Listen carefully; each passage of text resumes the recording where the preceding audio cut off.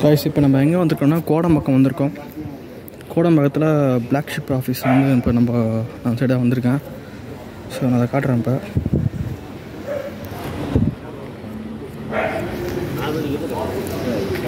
Left சைட்லேயே இருக்கும். Rangarajan street கோடம்பக்கம்.